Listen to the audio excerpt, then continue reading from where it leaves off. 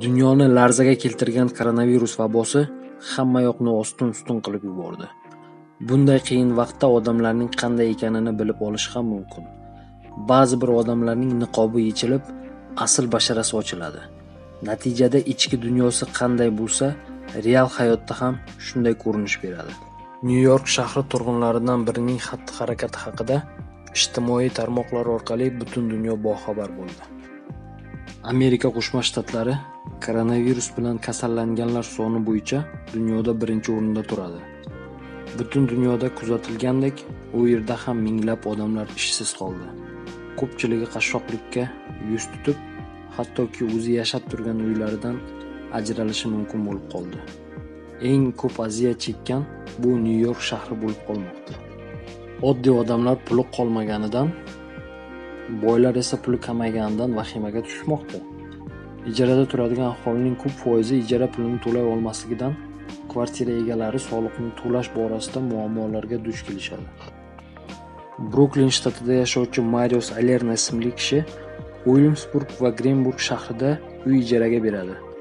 Unda 18 ta ko'p qavatli uyi bo'lib, har bittasida 200 dan 300 dan oshiq ijarachilar yashaydi. Bundan tashqari bu insonda yoqilg'i quyish shoxobchalari ham bo'lgan. Shaharda yetarli darajada obro'ga va boylikka ega bo'lgan bu kishi o'zining harakati bilan hammani lol qoldirdi. Mart oyining boshida ba'zi ijarachilardan xatlar kela boshladi.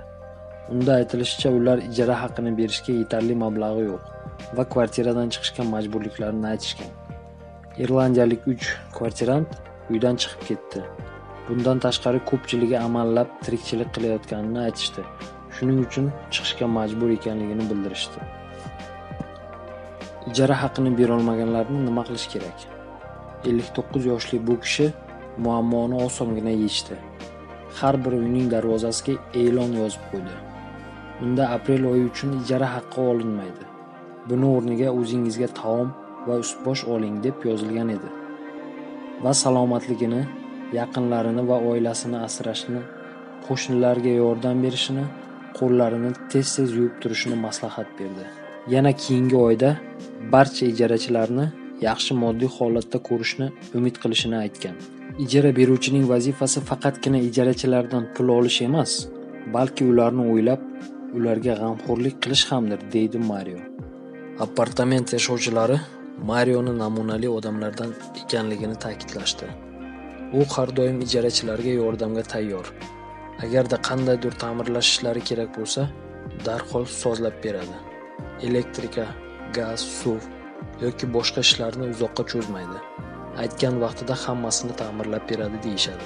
Birinchi bo'lib Marioning yaxshi ishlari haqida ishini yo'qotgan advokat va sartaroshxonaning egasi aytib berdi. Odamlar Marioni xatti-harakatidan ajablanishdi va quvonishdi.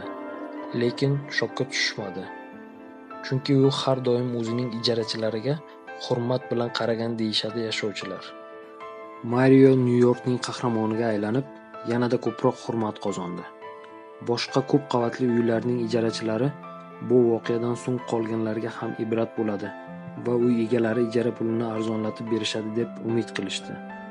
O'shanda ko'pgina odamlarga bu qiyin vaziyatda yashash osonroq bo'ladi. Bugungi kunda ko'pgina oddiy insonlar o'zining, bolalarining va yaqinlarining hayoti uchun, sog'lig'i va ishlari uchun qo'rquvda yashamoqda.